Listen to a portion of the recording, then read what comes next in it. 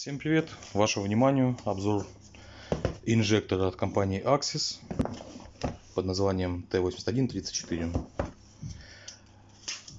Компания Axis славится своими хорошими инжекторами, которые используются нами повсеместно. И сегодня рассмотрим такой вот экземпляр.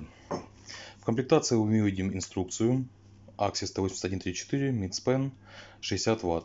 То есть довольно-таки приличный инжектор, который пойдет для любой роботизированной камеры. Axis и других. Шнур питания и сам инжектор. Выглядит он следующим образом. Обычная пластиковая коробочка.